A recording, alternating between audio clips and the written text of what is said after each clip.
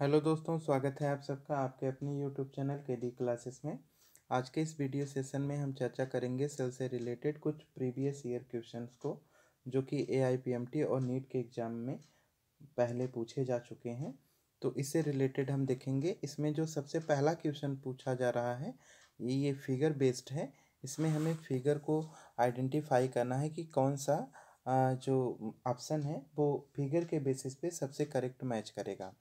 तो जो इसमें ए बी सी डी है, ये सब किसे रिप्रेजेंट कर रहे हैं? इसी से रिलेटेड ये क्वेश्चन है।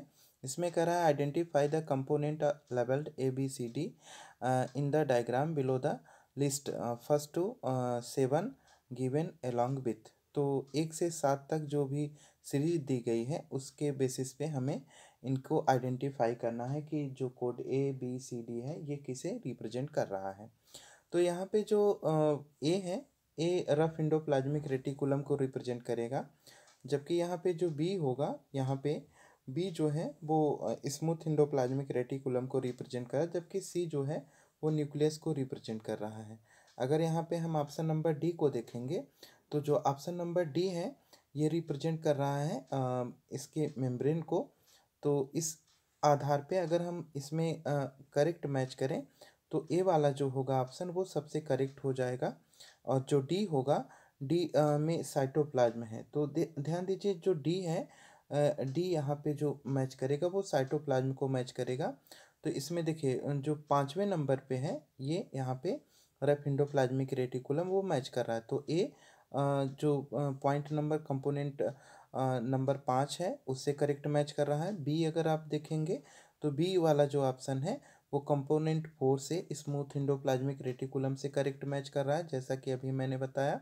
इसके अलावा जो ऑप्शन नंबर सी है यहाँ पे आप देखेंगे तो सी जो है, वो एट्थ मतलब न्यूक्लियस से करेक्ट मैच कर रहा है। तो यहाँ पे सी ऑलरेडी न्यूक्लियस को रिप्रेजेंट कर रहा था, जबकि ऑप्शन नंबर जो डी है, ये जी डी वाला जो पॉइंट है, वो ऑलरेडी रिप्रेजेंट करेगा किसे? साइटोप्लाज्म को। तो यहाँ पे थर्ड है साइटोप्लाज्म इस तरह से इसका जो पहला आंसर होगा इस क्वेश्चन का, वो सबसे करेक्ट आंसर हो जाएगा option number first question number दो है, इसमें पूछा गया है membrane bound organelle are absent in मतलब कौन सा ऐसा मेम्ब्रेन बाउंड ऑर्गन है जो अपसेंट होता है ऑर्गेनल्स अपसेंट होता है?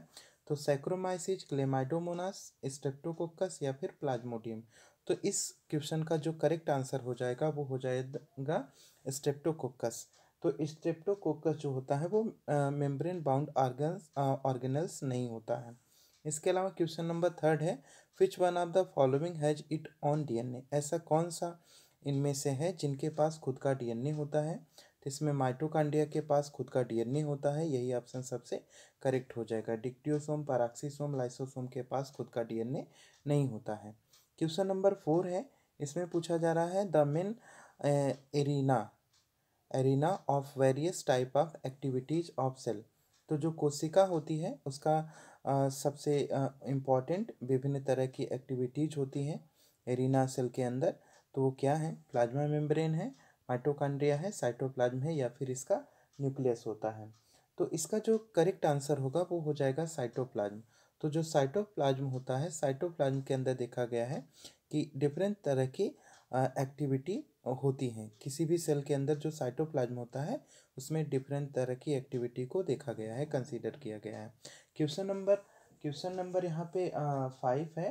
फाइव में पूछा जा रहा है the plasma membrane consist mainly of plasma membrane के अंदर क्या मुख्य रूप से पाया जाता है? तो जो पहला ऑप्शन है, इसमें कह रहा है फास्फोलिपिड होगा embedded in protein bilayer इसके अलावा सेकेंड ऑप्शन है protein embedded in phospholipid bilayer और ऑप्शन नंबर जो थर्ड है, इसमें कह रहा है थर्ड ऑप्शन में protein embedded in polymer of glucose molecule और ऑप्शन नंबर जो डी है, उसमें कह रहा है protein embedded in carbohydrate bilayer तो जो पाँचवें का जो करेक्ट आंसर हो जाएगा यहाँ पे क्वेश्चन को एक बार हम फिर से देखते हैं। इसमें जो पूछा गया था, वो plasma membrane consist of mainly तो प्लाज्मा मेम्ब्रेन मुख्य रूप से किससे बनी होती है? तो आपको ये बताया गया है कि जो प्लाज्मा मेम्ब्रेन होती है, उसमें प्रोटीन होती है और फास्फोलेटिक लिपिड होगा। तो इसका जो करेक्ट आंसर हो जाएगा, वो ऑप्शन नंबर बी इसका सबसे करेक्ट आंसर है। इसके अलावा क्वेश्चन नंबर सिक्स को हम देखेंगे, जो कि फिगर बेस्ड क्वेश्चन है। इसमें फिगर के अंदर हमें ए, बी, सी को आइडेंटिफाई करना है जो किसे रिप्रेजेंट करेंगे। तो इसमें अगर हम देखेंगे तो जो ऑप्शन नंबर यहाँ पे जो ए है सॉरी जो कोड है, यहाँ पे ए है, वो रिप्रेजेंट करेगा क्रिस्टी को, ये मेम्ब्रेन को रिप्रेजेंट करेगा। तो इसमें ऑप्शन से मैच करेंगे तो ज़्यादा बेहतर रहेगा, क्योंकि फिगर में उतना ज़्यादा क्लियर कलर्ड डायग्राम तो है नहीं। तो यहाँ पे अगर हम देखेंगे तो जो ऑप्शन नंबर ए है। Option number A inner membrane को रिप्रेजेंट करेगा। इनर मेम्ब्रेन को। उसके अलावा तो यहाँ पे जो बी वाला ऑप्शन होगा, ये सबसे करेक्ट हो जाएगा कि बी जो है, वो इनर मेम्ब्रेन को रिप्रेजेंट करेगा। इसके अलावा ये इनफोल्डिंग कार्ड क्रिस्टी, इसमें जो क्रिस्टी होती है, क्रिस्टी वाले पार्ट को हम लोग ऑलरेडी बी से रिप्रेजेंट करते हैं। तो जो बी वाला है वो क्रिस्टी का फॉर्मेशन कर रहा है, बाकी के जो कोड हैं, वो करेक्ट मैच नहीं कर रहे हैं। क्वेश्चन नंबर सेवन है, इसमें पूछा जा रहा है, in mitochondria protons accumulate in the, mitochondria के अंदर जो प्रोटॉन होते हैं, वो एक्यूमुलेट किसके अंदर होते हैं? तो इसमें अगर आप देखेंगे तो आउटर मेम्ब्रेन के अंदर होंगे, इनर मेम्ब्रेन के होंगे, अंदर होंगे, या फिर इंटर मेम्ब्रेन के स्पेस के अंदर होंगे, या मैट्रिक्स के अंदर होते हैं। तो जो माइटोकांड्रिया के अंदर प्रोटॉन होता है, वो एक्यूमुलेट करता है। किसके अंदर? इंटर मेम्ब्रेन स्पेस के अंदर ये एक्यूमुलेट करता है। तो इसका ऑप्शन नंबर सी सबसे करेक्ट आंसर हो जाएगा। क्वेश्चन नंबर एट है। इसमें पूछा जा रहा है which one of the following is not considered as a part of the endomembrane system इनमें से कौन सा इंडो मेम्ब्रेन सिस्टम का पार्ट नहीं है? तो ये जो इसमें पहला ऑप्शन है इसमें कह रहा है गोल्गी कॉम्प्लेक्स नहीं है पराक्सीसोम नहीं है, या फिर वैक्यूल, या फिर ऑप्शन नंबर डी में दिया गया है लाइसोसोम। तो इसमें अगर हम देखेंगे तो इसका जो सबसे करेक्ट आंसर हो जाएगा वो ऑप्शन नंबर बी होगा पराक्सीसोम पराक्सीसोम जो होता है वो इंडोमेम्ब्रेन सिस्टम नहीं होता है। बाकी के जो पार्ट होते हैं, वो इंडोमेम्ब्रेन सिस्टम के अंदर कंसिडर्ड किए जाते हैं। क्वेश्चन नंबर नाइन है, इसमें पूछा जा रहा है which which one of the following organism is not an example of eukaryotes इनमें से कौन सा यूकैरियोट्स का एग्ज़ाम्पल नहीं है? इनमें से कौन सा यूकैरियोट्स का एग्ज़ाम्पल नहीं है? तो यहाँ पे ध्यान दीजिए स्क्रेसिया कोलाई ई कोलाई जो होता है, ये ऑलरेडी किसका एग्ज़ाम्पल है? ये प्रोकैरियोट का एग्ज़ाम्पल है। और इसके अलावा यूकैरियोट्स मतलब इनमें से कौन यूकैरियोट नहीं है? तो यूकैरियोट नहीं है। तो आप ध्यान देंगे यहाँ पे यूग्लिना विरिडिस ये यूकैरियोटिक नेचर का होता है। पैरामीसियम कार्डेटम यूकैरियोटिक होता है। अमीबा प्रोटियस जो होता है, वो यूकैरियोटिक होता है। तो ये तीनों यूकैरियोटिक होते हैं। केवल इसमें जो पहला ऑप्शन है स्क्रेसिया कोलाई, ई कोलाई, ये प्रोकैरियोटिक होता है। तो इस आधार पे इसका जो करेक्ट आंसर है, वो ऑप्शन नंबर ए हो जाएगा, क्योंकि इसमें पूछा गया था कौन सा यू करियाट नहीं है। यू का कौन सा एग्ज़ाम्पल नहीं है? तो स्क्रेसिया कोलाई यू करियाट का एग्ज़ाम्पल नहीं है। तो इस आधार पे इसका सबसे पहला आंसर ही सबसे ज़्यादा करेक्ट हो जाएगा। क्वेश्चन नंबर टेन है, इसमें पूछा गया है the important site for the formation of glycoprotein and glycolipid. Glycoprotein और ग्लाइकोलिपिड का फॉर्मेशन किस करेक्ट साइट के अंदर होता है? तो गाल्गी अपरेटस के अंदर होगा, प्लास्टिड के अंदर होगा, लाइसोसोम के अंदर होगा या फिर वैक्यूल के अंदर होगा। तो इसमें अगर हम देखेंगे तो जो फॉर्मेशन होता है ग्लाइकोप्रोटीन और ग्लाइकोलिपिड का, वो किसके अंदर होता है? गाल्गी अपरेटस के अंदर होता है। इसके अलावा क्वेश्चन नंबर अलेवन है। इसमें पूछा गया है, in eubacteria cellular component that resemble eukaryotic cells तो जो बैक्टीरिया होता है यू बैक्टीरिया इसके अंदर जो सेलुलर कंपोनेंट होता है, वो सेलुलर कंपोनेंट यूकैरियोट्स के अंदर मतलब किसका फॉर्मेशन करता है या किससे बना होता है? न्यूक्लियस से राइबोसोम से सेलवाल से या फिर प्लाज्मा मेम्ब्रेन से मिलकर बना होगा। तो इसका जो करेक्ट आंसर हो जाएगा वो ऑप्शन नंबर डी हो जाएगा प्लाज्मा मेम्ब्रेन तो जो यू बैक्टीरिया होते हैं यू बैक्टीरिया के अंदर जितने भी सेल के कंपोनेंट होते हैं यूकैरियोटिक सेल के कंपोनेंट होते हैं, वो प्लाज्मा मेम्ब्रेन से बने होते हैं। तो यू बैक्टीरिया के अंदर का जो कंपोनेंट होगा, वो किससे बना होगा? प्लाज्मा मेम्ब्रेन के थ्रू बना होता है।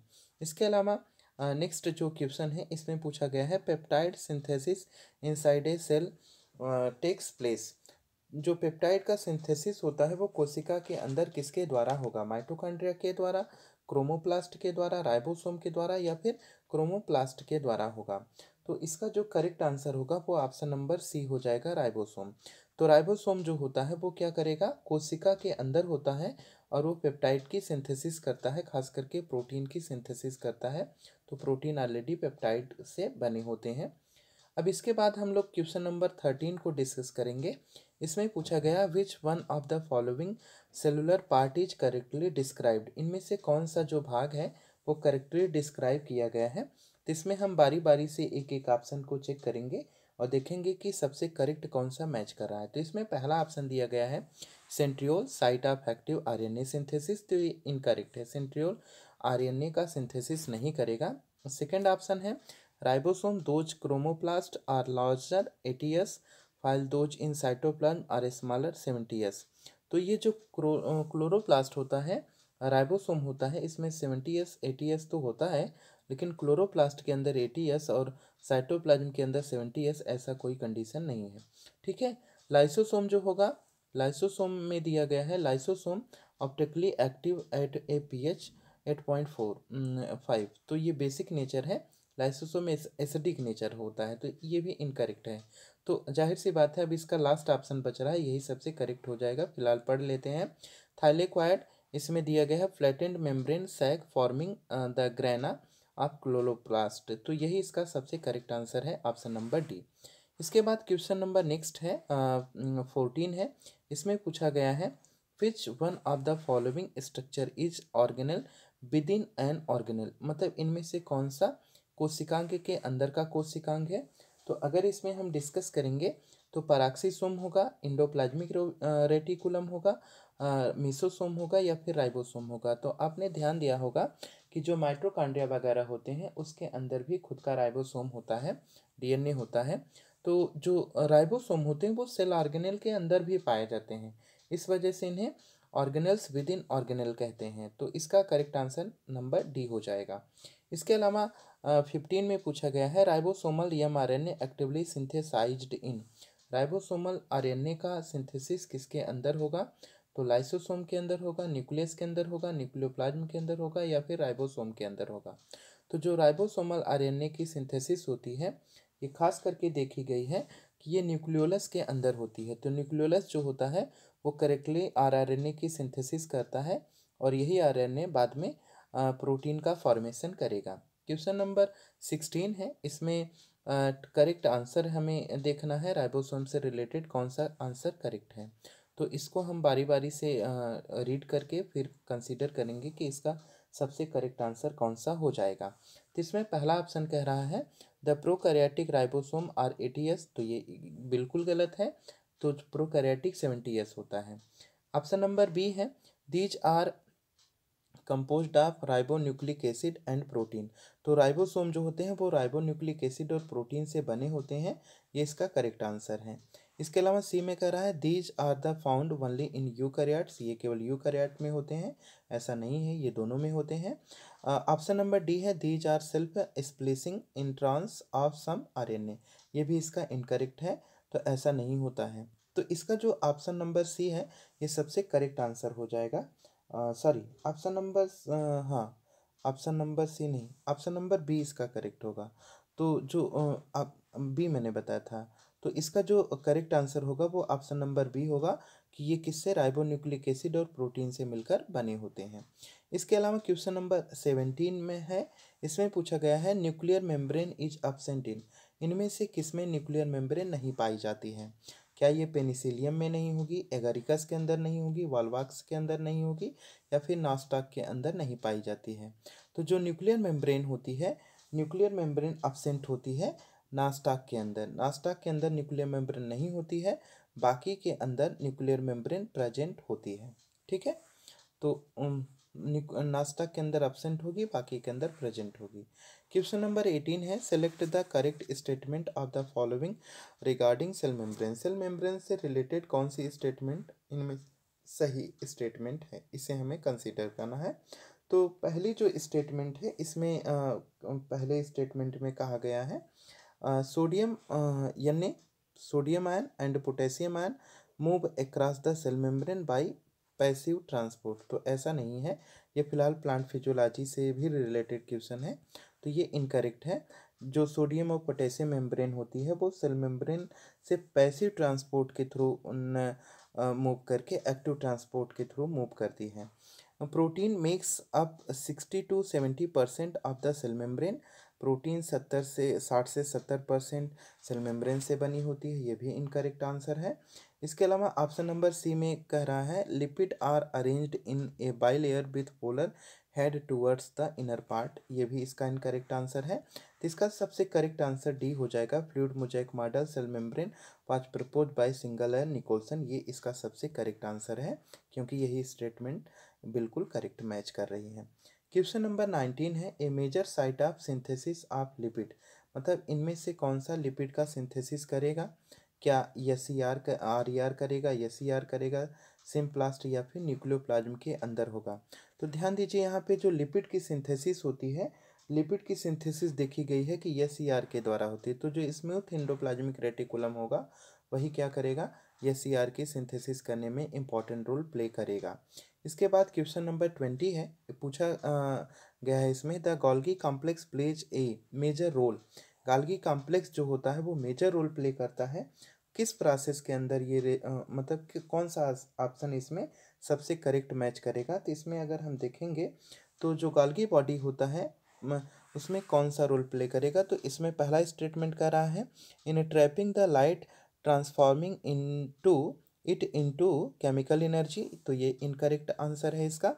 दूसरा है in digestive protein and carbohydrates ये भी इसका मतलब ये डाइजेस्टिव प्रोटीन और कार्बोहाइड्रेट में होगा, ये भी गलत है। इसके बाद सी है एज एनर्जी ट्रांसफॉर्मिंग ऑर्गेनल्स ये भी इनकरेक्ट है, क्योंकि गोल्गी कॉम्प्लेक्स मेजर रोल जो प्ले करेगा। फ़िलहाल होते हैं ये ऑप्शन लेकिन इसमें अगर हम ऑप्शन नंबर डी देखेंगे in post ट्रांसलेस trans, translational modification of protein and glycosidations of lipid. ये इसका सबसे करेक्ट आंसर हो जाएगा। तो ऑप्शन नंबर डी इसका सबसे राइट right आंसर हो जाएगा। इसके बाद हम डिस्कस करेंगे क्वेश्चन नंबर ट्वेंटी वन को, जो कि फिगर बेस्ड क्वेश्चन है। और इसमें ऑलरेडी फिगर में कौन सा पार्ट क्या रिप्रेजेंट कर रहा है, ये पहले से दे रखा है। तो पूछा क्या गया है, ये भी देख लेते हैं इसमें। Which one of the following organelle is figure organelle in the figure correctly matched इनमें से कौन सा जो ऑर्गेनल है, वो करेक्टली मैच करता है? तो यहाँ पे ध्यान दीजिए, जो न्यूक्लियस है, ये सबसे करेक्ट मैच कर रहा है। बाकी यहाँ पे लिखा गया है रफ इंडोप्लाज्मिक रेटिकुलम तो फ़िलहाल ये ठीक है। लेकिन आप देखेंगे तो यहाँ पे जो एरो लगा है, वो बीच में है तो वो स्मूथ पार्ट है। तो ये बी ऑप्शन भी करेक्ट लग रहा है। क्योंकि इस पर ऑलरेडी राइबोसोम दिख रहे हैं तो ये दो ऑप्शन तो करेक्ट मैच कर रहे हैं। लेकिन यहाँ पे गॉल्गी अपरेटस लिखा है तो ये थोड़ा सा कम मैच कर रहा है। तो इस हिसाब से देखते हैं कौन सा आंसर इसका सबसे करेक्ट मैच कर रहा है। तो इसमें अगर आप देखेंगे तो हम नीचे देखते हैं ऑप्शन को। तो पहला ऑप्शन इसमें दिया गया है रेफिंडोप्लाज्मिक रेटिकुलम और फॉर्मेशन ऑफ़ ग्लाइकोप्रोटीन्स तो ये इसका इनकरेक्ट है, ऐसा कुछ नहीं है। इसके अलावा जो बी है गॉल्गी अपरेटस प्रोटीन सिंथेसिस करती है, ऐसा भी नहीं है। सी वाला ऑप्शन कह रहा है Golgi apparatus formation of glycolipid ये भी इनकरेक्ट आंसर है। ऑप्शन नंबर जो डी है, इसमें कह रहा है, rough endoplasmic reticulum protein synthesis तो ध्यान दीजिए कि जो रफ इंडोप्लाज्मिक रेटिकुलम है, वो ऑलरेडी प्रोटीन की सिंथेसिस करती है। तो ये इसका सबसे करेक्ट आंसर हो जाएगा, ठीक है? इसके अलावा क्वेश्चन नंबर हम ट्वेंटी टू को डिस्कस करेंगे।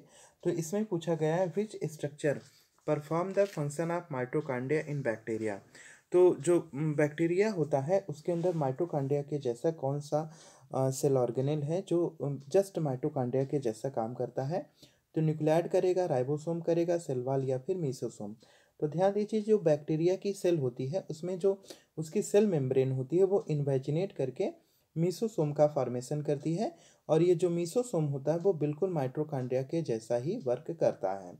क्योंकि ये प्रोकैरियोट्स होते हैं तो इनके अंदर एटीपी वगैरह का जो स्टोरेज होगा, वो मीसोसोम के अंदर होगा। तो इसके बाद क्वेश्चन नंबर ट्वेंटी थ्री है। ट्वेंटी थ्री में पूछा जा रहा है the solid linear cytoskeleton element having a diameter of six nanometer and made up of a single type of monomer are known as. तो इसमें जो सॉलिड लीनियर साइटोस्केलेटन होता है, जो कि छः नैनोमीटर के आसपास होता है, वो सिंगल टाइप का है, वो किस उसे हम किस नाम से जानते हैं?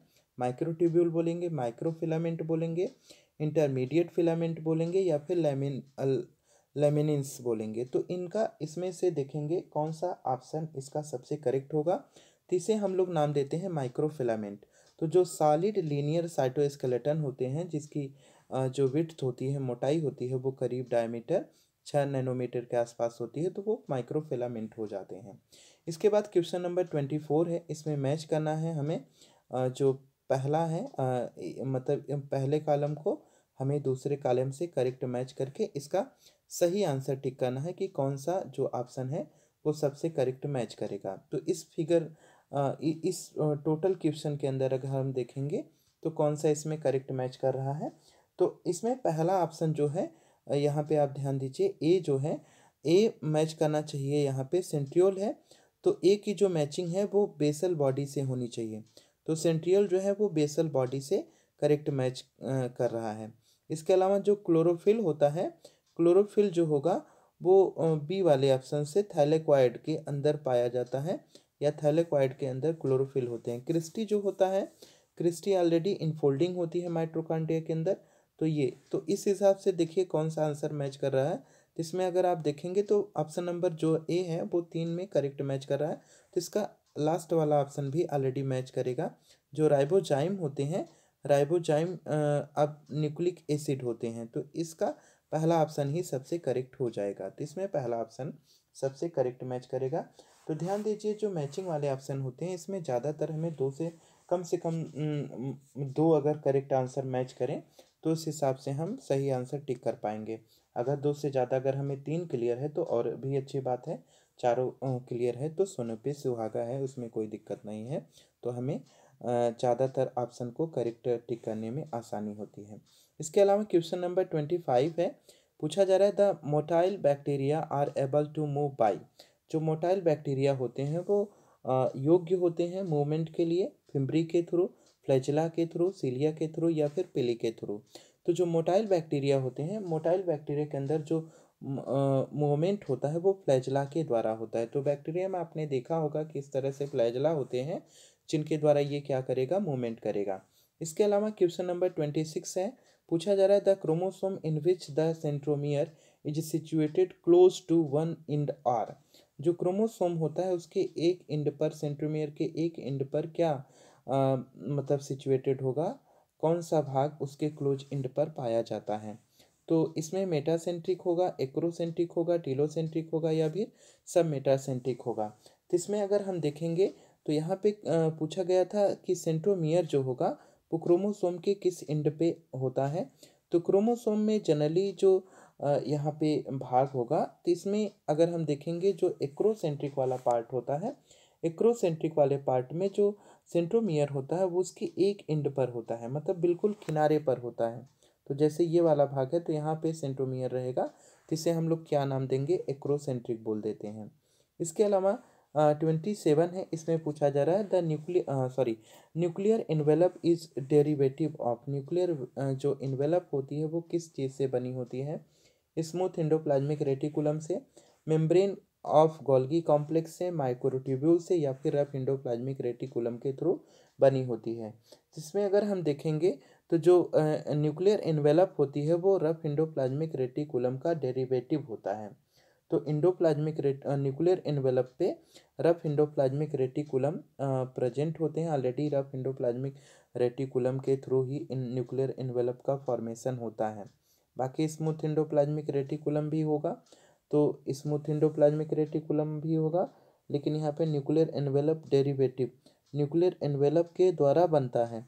तो रफ इंडोप्लाज्मिक रेटिकुलम पे जो होगा राइबोसोम होगा, जिसके द्वारा प्रोटीन का फॉर्मेशन होता है, जो कि ऑलरेडी इंडोप्लाज्मिक न्यूक्लियर एनवेलप के डेरिवेटिव के थ्रू ही बनते हैं।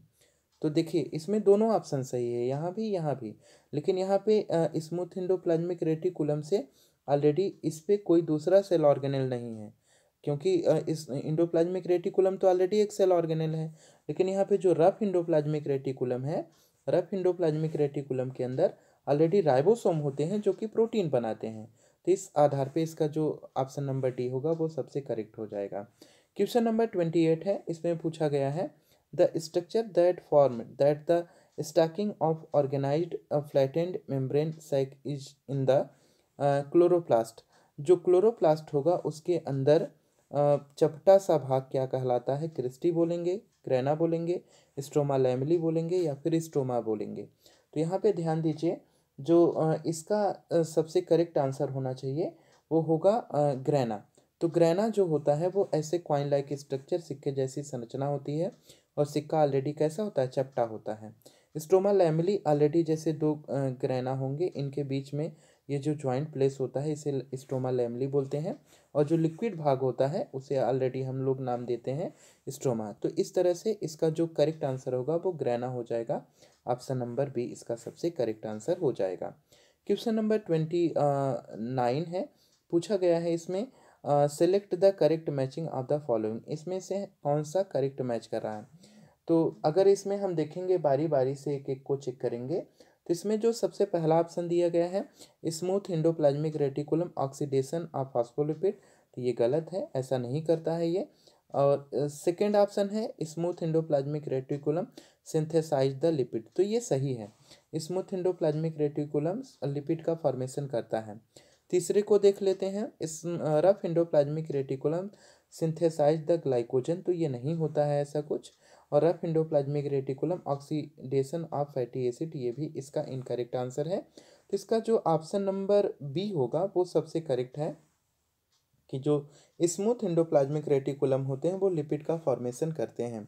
क्वेश्चन नंबर थर्टी है। थर्टी में पूछा गया है ट्रू न्यूक्लियस इज़ अपसेंट जो विकसित न्यूक्लियस होता है या सचमुच का जो न्यूक्लियस होता है, वो किसके अंदर अपसेंट होता है? एना एनाबिना के अंदर, म्यूकर के अंदर, वाउचेरिया के अंदर या फिर वालवाक्स के अंदर? तो इनमें से किसके अंदर जो वेल डेवलप टाइप का न्यूक्लियस होगा या फिर जो ट्रू न्यूक्लियस होगा ट्रू न्यूक्लियस होगा, वो किसके अंदर अपसेंट होगा। तो इसमें अगर हम देखेंगे तो जो एनाबिना होता है एनाबिना के अंदर जो कि एक एल्गी है एनाबिना इसके अंदर जो न्यूक्लियस होता है वो कम्प्लीटली डेवलप नहीं होता है। बाकी के अंदर जो न्यूक्लियस देखा गया है, वो कम्प्लीटली डेवलप होता है। इसके अलावा थर्टी वन में पूछा गया है which one of the following is not an inclusion body found in prokaryotes इनमें से कौन सा इंक्लूजन बॉडी नहीं है जो कि प्रोकैरियोट के अंदर पाया जाता है? तो फास्फेट ग्रैन्यूल है साइनोफाइसियन ग्रैन्यूल है ग्लाइकोजन ग्रैन्यूल है या फिर पॉलीसोम है? तो इसमें अगर हम देखेंगे तो इसका जो सबसे करेक्ट आंसर हो जाएगा, वो हो जाएगा पालीसोम पालीसोम के अंदर जो होगा, वो जो कि ये एक प्रोकैरियोट है, इसमें किसी भी तरह की इंक्लूजन बॉडी अपसेंट होती है। इसके अलावा थर्टी टू है, पूछा गया है इसमें DNA is not present in इनमें से किसके अंदर डीएनए नहीं पाया जाएगा? क्लोरोप्लास्ट के अंदर होता है राइबोसोम के अंदर नहीं होता है। न्यूक्लियस के अंदर भी डीएनए होता है माइटोकांडिया में भी होगा। तो इसका, इसमें नहीं पूछा गया था तो राइबोसोम के अंदर जो डीएनए है वो नहीं पाया जाएगा। क्वेश्चन नंबर थर्टी थ्री है। थर्टी थ्री में पूछा गया है यहाँ पर which of the following are not membrane bound इनमें से किसके पास मेम्ब्रेन नहीं होती है? ठीक है राइबोसोम के पास नहीं होती है लाइसोसोम के पास नहीं आ, सिंगल लेयर होती है मीसोसोम के पास ऑलरेडी मेम्ब्रेन होती है वैक्यूल्स के पास ऑलरेडी मेम्ब्रेन नहीं होती है आ, होती है। तो इसमें अगर हम देखेंगे थर्टी थ्री का जो सबसे करेक्ट आंसर होगा वो ऑप्शन नंबर ए हो जाएगा। बाकी इन तीनों के पास मेम्ब्रेन होती है राइबोसोम के पास मेम्ब्रेन नहीं होती है ये मेम्ब्रेस मेम्ब्रेन लेस सेल ऑर्गेनेल होता है। इसके बाद क्वेश्चन नंबर थर्टी फोर है। थर्टी फोर में पूछा जा रहा है which of the following structure is not found in prokaryotic cell इनमें से कौन सा प्रोकैरियोटिक सेल के अंदर स्ट्रक्चर अपसेंट होगा? राइबोसोम मीसोसोम, प्लाज्मा मेम्ब्रेन या फिर न्यूक्लियर इन्वेलप तो जो प्रोकैरियोटिक सेल होती है प्रोकैरियोटिक सेल के अंदर अगर हम देखेंगे तो इनमें खास करके न्यूक्लियर इन्वेलप अपसेंट होता है। तो न्यूक्लियर एनवेलप तो इसका आंसर नंबर जो डी होगा, वो सबसे करेक्ट आंसर हो जाएगा, क्योंकि जब इसमें न्यूक्लियस ही नहीं रहेगा तो न्यूक्लियर एनवेलप रहने का कोई दुख ही नहीं बनता है। इसके बाद थर्टी फाइव है, पूछा जा रहा है the structure that help some bacteria to attach to rock R O R करके है, अथवा होस्ट सेल आर ठीक है? तो इसमें जो बैक्टीरिया होगा बैक्टीरिया के अंदर कौन सा स्ट्रक्चर है, जो अटैचमेंट में हेल्प करता है fimbriae part mesosome part holdfast या फिर राजोएड पार्ट होगा। तो इसका जो करेक्ट आंसर हो जाएगा, वो ऑप्शन नंबर ए हो जाएगा, जो बैक्टीरिया के अंदर फिम्बरी पार्ट होता है। फिम्बरी पार्ट ही किसी होस्ट से चिपकने में या फिर अटैच करने में इंपॉर्टेंट रोल प्ले करता है। इसके बाद हम लोग क्वेश्चन नंबर थर्टी सिक्स को डिस्कस करेंगे। थर्टी सिक्स में हमें आइडेंटिफाई करना है कि कौन सा इसमें से करेक्ट मैच कर रहा है। कॉलम फ़र्स्ट में से सेकंड से कौन करेक्ट मैच कर रहा है। तो इसमें जो देखेंगे तो इसमें जो पहला ऑप्शन है, इसमें दिया गया है थाइलेक्वायड जो होगा वो डिस्क सेव्ड सैक होती हैं गोल्गी ऑपरेटर्स की। तो ये वैसे तो करेक्ट लग रहा है, बाकी का भी देख लेते हैं।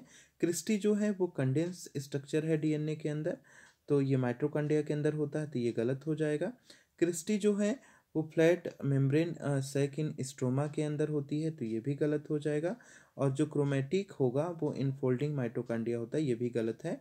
तो क्रोमेटिक ऐसा कोई क्रोमेटिन जो होता है, वो ऑलरेडी न्यूक्लियस के अंदर होता है तो इसका जो पहला ऑप्शन है, वो सबसे करेक्ट हो जाएगा।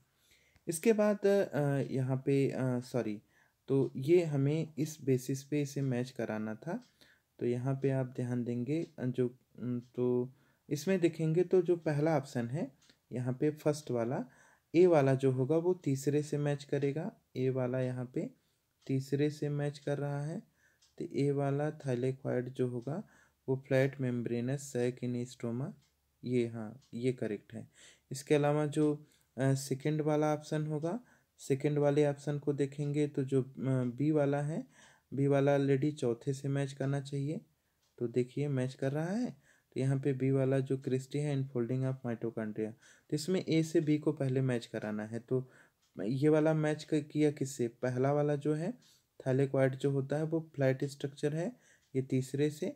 तो मेरे ख्याल से इसमें जो पहला ऑप्शन है, वो करेक्ट मैच कर रहा है। तो इसमें पहला ऑप्शन ही करेक्ट हो जाएगा, क्योंकि पहला दूसरा दो मैच कर गया तो बाकी तीसरा भी देख लेते हैं। जो सी है ऑप्शन नंबर सी है सी वाला जो ऑप्शन है, ये यहाँ पे दिया गया है कि जो यहाँ पे जो सी है, सी में देखते हैं, सी में पहला तो सी का यहाँ पे पहला देखिए, क्रिस सिस्टर्नी जो होती है वो डिस सेप सैक होता है, गोल्की के अंदर। हाँ ये करेक्ट मैच कर रहा है। तो इसका ऑप्शन नंबर ए सबसे करेक्ट आंसर हो जाएगा। थोड़ा सा मिस मैच हो गया था। तो यहाँ पे जो पहला ऑप्शन होगा, यही सबसे करेक्ट आंसर हो जाएगा। तो देखिए, इसमें थोड़ा पेज को लेके दिक्कत आ जाती है जब कोई क्वेश्चन दो पेज में होता है। तो यहाँ पे मुझे लगा पहला ही ऑप्शन है तो ये ज़्यादा करेक्ट है तो इसका पहला ऑप्शन सबसे करेक्ट हो जाएगा। क्वेश्चन नंबर थर्टी सेवन है। थर्टी सेवन में पूछा गया है cellular organelles with membrane are जो सेलुलर ऑर्गेनल होते हैं, उनके पास मेम्ब्रेन होती है तो इसमें chromosome ribosome and endoplasmic reticulum होता है। इसके अलावा इंडोप्लाज्मिक रेटिकुलम राइबोसोम और न्यूक्लियाई होता है। लाइसोसोम गोल्गी अपरेटस और माइटोकांडिया होगा, न्यूक्लियाई होगा, राइबोसोम या फिर माइटोकांडिया होगा। तो थर्टी सेवन का जो करेक्ट आंसर हो जाएगा, वो ऑप्शन नंबर सी हो जाएगा। तो यहाँ पे जो सेलर ऑर्गेनेल होते हैं, उनके पास मेम्ब्रेन होती है, लाइसोसोम गोल्गी अपरेटस और माइटोकांडिया इन सभी के पास ऑलरेडी क्या होती है? सिल्वर जो ऑर्गेनेल होती है, इनके पास मेम्ब्रेन पाई जाती है। इसके अलावा नेक्स्ट क्वेश्चन हम लोग डिस्कस करेंगे, थर्टी एट को, माइटोकांड्रिया एंड क्लोरोप्लास्ट आर, जो माइटोकांड्रिया और क्लोरोप्लास्ट होते हैं, वो सेमी ऑटोनॉमस ऑर्गेनल्स होते हैं या फिर इनके अंदर दिया गया है formed by the division of pre existing organelles and they contain DNA better like protein synthesising machinery इसके अलावा, अब इसमें हमें मैच करना है तो which one of the following option is correct मतलब ऊपर, उपरोक्त दोनों में से कौन सा सबसे करेक्ट आंसर हो जाएगा? तो यहाँ पे थर्टी एट में देखेंगे तो पहला ऑप्शन कह रहा है both first and second are correct क्या दोनों सही हैं? तो नहीं, दोनों चीज़ें सही नहीं हैं। तो माइटोकांडिया सेमी ऑटोनॉमस ऑर्गेनल है, ये बात सही है। पर जो दूसरा है कि जो form division pre existing organelles contain DNA but like protein synthesise machinery तो ये दूसरा ऑप्शन इसका इनकरेक्ट लग रहा है। इसके अलावा ऑप्शन नंबर बी है सेकंड ट्रू है फ़र्स्ट फॉल्स है, ये तो सीधे सीधे गलत हो गया। सी है फ़र्स्ट इज़ ट्रू और सेकंड इज़ फॉल्स तो ये इसका करेक्ट है। तो इसमें जो ऑप्शन नंबर सी है, ये सबसे करेक्ट आंसर हो जाएगा। इसके बाद हम लोग क्वेश्चन नंबर थर्टी नाइन को डिस्कस करेंगे। थर्टी नाइन में कह रहा है microtubules are the constituent of microtubule, इनमें से किसका कंस्टिट्यूएंस है, किसका कंपोनेंट है? तो थर्टी नाइन में अगर देखेंगे तो इसका जो सबसे पहला ऑप्शन दिया गया है सीलिया फ्लैजला एंड पराक्सीसोम का तो ये इनकरेक्ट है। दूसरा है spindle fibre centriole and cilia का है तो ये भी इसका क्या हो जाएगा, ये वैसे करेक्ट लग रहा है। इसके अलावा तीसरा देख लेते हैं सेंट्रियोल का स्पिंडल का फाइबर और क्रोमेटिन का तो ये इसका इनकरेक्ट है और डी वाला है सेंट्रोसोम निक्लोसोम एंड सेंट्रियोल का तो ये भी इनकरेक्ट है। तो यहाँ पे ध्यान दीजिए, जो ऑप्शन नंबर बी हो जाएगा, ऑप्शन नंबर बी इसका सबसे करेक्ट आंसर होगा कि जो माइक्रोट्यूब्यूल होती है उसके अंदर स्पिंडल फाइबर होते हैं, सेंट्रियोल होता है और सीलिया होता है। ये तीनों चीज़ें इसके अंदर प्रेजेंट होती हैं। क्वेश्चन नंबर फोर्टी है a complex ribosome attached to a single standard RNA is known as मतलब जो राइबोसोम होता है, उसके, वो अटैच होता है सिंगल स्टैंडर्ड आरएनए से, और उसे हम लोग क्या नाम देते हैं? पालीसोम बोलते हैं, पॉलीमर बोलते हैं, पॉलीपेप्टाइड बोलते हैं, या फिर ओका जाके फ्रेगमेंट बोलते हैं। तो क्वेश्चन नंबर चालीस का जो सबसे पहला ऑप्शन है, पॉलीसोम यही सबसे करेक्ट हो जाएगा कि जो सिंगल स्टैंडर्ड आरएनए होते हैं, उन्हें हम लोग पॉलीसोम नाम देते हैं। फोर्टी वन है। फोर्टी वन में पूछा जा रहा है which one of the following cell organelle is enclose by the single membrane इनमें से कौन सा सेल ऑर्गेनल है जो सिंगल मेम्ब्रेन से इनक्लोज होता है, घिरा होता है? माइटोकांड्रिया होगा क्लोरोप्लास्ट होगा लाइसोसोम या फिर न्यूक्लियाई होगा। तो अगर इसमें हम देखेंगे तो जो लाइसोसोम होता है, वो सिंगल लेयर से कवर्ड सेल ऑर्गेनल होता है, ठीक है? इसके बाद क्वेश्चन नंबर फोर्टी टू है। फोर्टी टू में पूछा जा रहा है water soluble pigment found in plant cell vacuoles are जो वाटर सॉलिबल पिगमेंट होते हैं प्लांट सेल किस प्लांट सेल के अंदर होंगे? जेंथोफिल के अंदर क्लोरोफिल्स के अंदर कैरोटीनोइड के अंदर या फिर एंथोसाइनिन के अंदर। तो जो प्लांट सेल होती है प्लांट सेल के अंदर जो वाटर सॉल्युबल पिगमेंट होगा वाटर सॉल्युबल पिगमेंट वो होता है एंथोसाइनिन क्या होता है? एंथोसाइनिन जो होता है, वो वाटर सॉल्युबल पिगमेंट है जो कि प्लांट सेल के अंदर प्रेजेंट होता है। फोर्टी थ्री है सेलेक्ट द मिस मैच इनमें से कौन सा सही मैच नहीं कर रहा है, इसे हमें सेलेक्ट करना है। तो यहाँ पे हम देखेंगे सबसे पहला option large central vacuole large central vacuoles ये एनिमल के अंदर होती है तो ये ऐसा नहीं है तो ये प्लांट्स के अंदर होनी चाहिए। ठीक है? तो ये कर इनकरेक्ट ऑप्शन है। पहला इसका ऑप्शन जो है वो इनकरेक्ट है। दूसरा है प्रोस्टिस्ट यूकरियाट होते हैं, सही बात है, ये प्रोटोजोआ फाइलम के हैं और प्रोटोजोआ सभी क्या होते हैं यूकरियाट होते हैं। इसके अलावा है मिथेनोजेंस प्रोकैरियाट होते हैं मिथेनोजन बैक्टीरिया है और बैक्टीरिया ऑलरेडी प्रोकैरियाट हैं तो ये भी इसका सही आंसर है। और डी ऑप्शन है गैस वैक्यूल्स ग्रीन बैक्टीरिया के अंदर होगी तो ये भी इसका करेक्ट आंसर है। तो इसमें मिस मैच कहा था? मतलब कौन सा गलत है? तो ऑलरेडी पहला वाला गलत है, इस वजह से पहला ऑप्शन ही इसका करेक्ट आंसर हो जाएगा। क्वेश्चन नंबर फोर्टी फोर है। फोर्टी फोर में पूछा जा रहा है सेलेक्ट द रॉन्ग स्टेटमेंट मतलब हमें इसमें से गलत स्टेटमेंट को सेलेक्ट करना है। तो कौन सी स्टेटमेंट गलत है? पहली स्टेटमेंट को पढ़ते हैं। Pili and fimbriae are mainly involve in monthly monthly of bacteria तो ये इनकरेक्ट है। मतलब ये फिम्बरी और पिली जो होते हैं, वो मेनली इन्वॉल्व होते हैं। मंथली ऑफ़ बैक्टीरिया ऐसा नहीं है। बी है cyanobacteria like flagellated cell cyanobacteria के पास फ्लैजिलेटेड सेल होती हैं, ऐसा नहीं होता है। ऑप्शन नंबर सी है mycoplasma is a wall less microorganism mycoplasma काफ़ी छोटे माइक्रो ऑर्गेनिज्म होते हैं तो ये एक तरह की सेल है माइक्रो ऑर्गेनिज नहीं होगा। फ़िलहाल ये बैक्टीरियल से रिलेटेड है। और ऑप्शन नंबर जो डी है वो कह रहा है bacteria cell wall is made up of peptidoglycan तो बैक्टीरिया की जो सेल वाल होती है वो पेप्टिडोग्लाइकान के द्वारा बनी होती है। तो ये ऑप्शन सही है। तो यहाँ पे ध्यान दीजिए थोड़ा सा आ, हमें देखना है रॉन्ग स्टेटमेंट तो। रॉन्ग स्टेटमेंट इसमें जो पहली है वो ऑलरेडी गलत स्टेटमेंट है। बाकी की जो तीन है स्टेटमेंट है कि साइनोबैक्टीरिया के पास लैक मतलब नहीं होता है प्लेटेड सेल्स नहीं पाई जाती हैं। माइक्रोप्लाज्मा एक तरह से छोटा जीव है, ये भी सही है, बाकी ऑप्शन भी सही है तो इसमें इनकरेक्ट ऑप्शन पहला है और इसमें रॉन्ग स्टेटमेंट ही पूछा गया था तो इस हिसाब से इसका पहला आंसर सबसे करेक्ट हो जाएगा। आज का जो अंतिम क्वेश्चन होगा, उसके बाद हम लोग एन का एग्जाम्पलर देखेंगे अगले वीडियो के अंदर। तो आज का अंतिम जो क्वेश्चन है, इसमें पूछा गया है a cell organelle containing hydrolytic enzyme मतलब ऐसी कौन सी सेल ऑर्गेनेल होती है जिसके अंदर हाइड्रोलिटिक एंजाइम पाए जाते हैं? क्या वो माइक्रोसोम है, राइबोसोम है, मीसोसोम है या फिर लाइसोसोम है? तो जो लाइसोसोम होता है, लाइसोसोम के अंदर ही हाइड्रोलिटिक एंजाइम पाए जाते हैं तो इसका करेक्ट आंसर हो जाएगा लाइसोसोम। तो आज के लिए बस इतना ही, बाकी नेक्स्ट वीडियो में हम लोग एन के एग्जाम्पलर को भी सॉल्व करेंगे। धन्यवाद।